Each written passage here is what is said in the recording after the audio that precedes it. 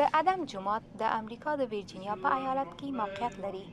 برسیره د ورځیني عبادتونو د روژې په مبارکه میاشت کې د مختلفو هیوادونو مسلمانان ښځې او نارینه د تراویح لپاره دلته راځي او د روژې په سپېڅلې میاشت کې په اونۍ کې درې ورځې جمعه شنبه او یکشنبه روژه ماتی هم په وړیا ډول ورکول کیږي په جومات کې د راغلو مسلمانانو دپاره د چندې او یا خیرات راټولولو صندوق شته چې هر څوک د خپلې وسې په اندازه پیسې پکې اچوي.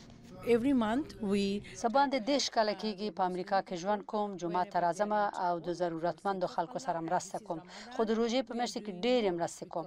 موږ باید د ضرورتمندو سره مرستې وکړو، هغوی زموږ خویندې او وروڼه دي.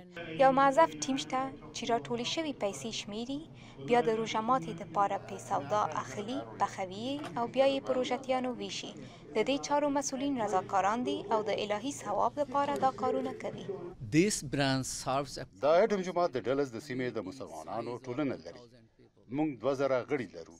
د روژې په میاشت کې په اونۍ کې درې ورځې درې سوه څلور سوه کسانو ته روژه ماته هم ورکو چې مصارف یې د همدې ټولنې لخوا راټولیږي د عدم جماعت د روژه ماتي دسترخوان د ټولو مسلمانانو په مخ پور دی هر څوک کولی شي چې د خپلې کورنۍ ماشومانو او یا میلمنو سره راشي زه اکثره روژه ماتي کې دلته راځم تشنابونه پاکوم جارو کوم زما سره نور دوستان هم شته چې کلونه کلونه کیږي چې خدمت کوو اوس په هر کار ښه پوهیږو او د الله د رضا د پاره دا هر څه کوو.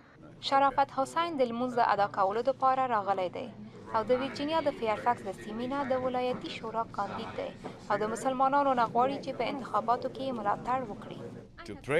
زه د لمانځه د پاره دلته راغلی یم او د فیرفکس د سیمې نه د ولایتي شورا کاندید یم. د ډیموکرات ګوند غړی یم.